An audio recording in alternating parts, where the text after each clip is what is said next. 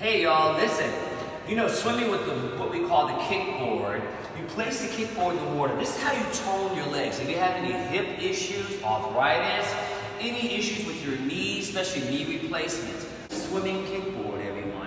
And notice I was walking. First you start walking. Once you feel connected, you lift your legs up. You don't have to kick as hard. Kick lightly, keeping your head up. You're feeling the stress in your neck. You can always drop your head, head to the right, turn your head to the left. If you're tired, then begin to go right back into the walk. So this is for rehabilitation, but also for toning the legs.